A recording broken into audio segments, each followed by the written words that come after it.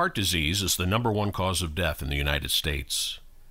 Each year, more than 400,000 people are treated out of hospital by EMS in the U.S. for sudden cardiac arrest, SCA.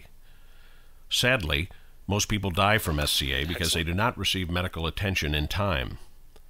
Currently, survival is less than 10%, but survival can be as high as 90% if treatment is initiated within the first few minutes. A healthy diet and lifestyle are your best weapons to fight cardiovascular disease, so control cholesterol and blood pressure. Stay active and exercise. Eat nutritious and healthy foods. Maintain a healthy weight. Stop smoking. Reduce stress. Manage diabetes. Some risk factors that contribute to heart disease are obesity, smoking, high blood pressure, diabetes, genetics, sedentary non active lifestyle, recreational drug use. Heart attacks occur when the blood flow that brings oxygen to the heart is severely reduced.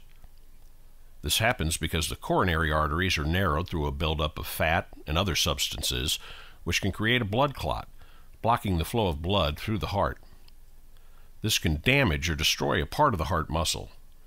If enough of the muscle is damaged, SCA sudden cardiac arrest can occur. Often people, especially women, ignore the symptoms of a heart attack, mistaking them for indigestion or the flu.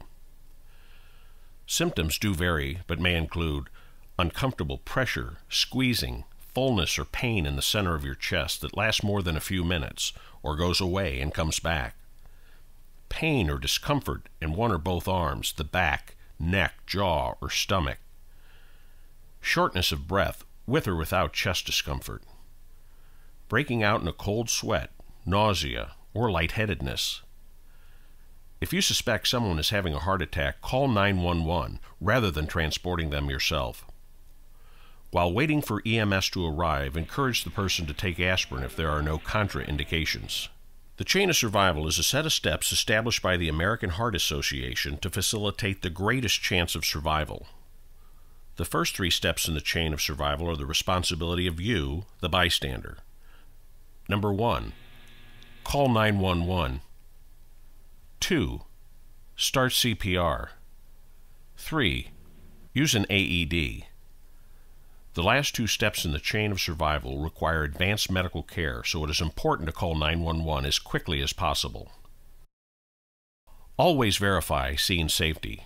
Remember, the strongest link in the chain of survival is you, so it is imperative to make sure the scene is safe before approaching the person. You cannot help a victim if you become a victim yourself.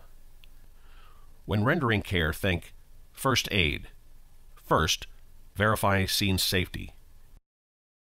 A. Activate 911. Have someone call 911. If possible, leave the phone next to the victim with the speaker on and answer all the dispatcher's questions.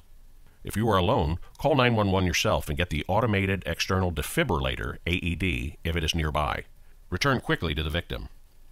I. Inform the person you are trained and ask if you can help. If they are unconscious, assume consent.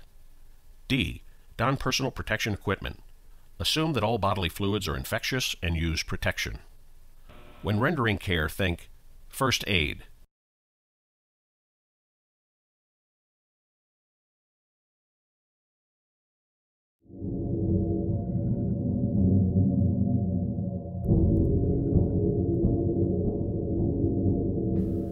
The immediate cause of most SCA is an abnormal heart rhythm.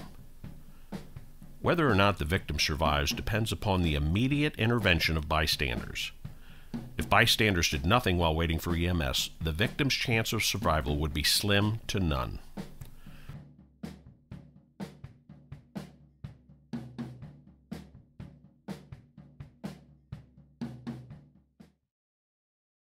Saving that person's life comes down to whether or not the rescuer knows how to administer CPR and how to use an automated external defibrillator, AED. This is why prompt action by bystanders is so critical and why it is important for laypersons to learn CPR and how to use an AED. Do not be afraid to act for legal reasons. The Good Samaritan law is a legal doctrine that prevents a rescuer who has voluntarily helped a victim in distress from being successfully sued for wrongdoing.